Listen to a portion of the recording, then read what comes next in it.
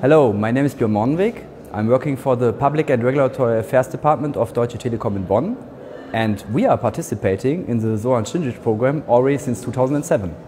The program offers Deutsche Telekom an excellent opportunity to get to know highly qualified students from a wide range of disciplines during internship in Germany. Against the background that we have subsidiaries in four of the seven countries, the program is of particular interest to us with regard to its international context. For our daily intercultural exchange with the subsidiaries, we also benefit from the personal experiences of our trainees.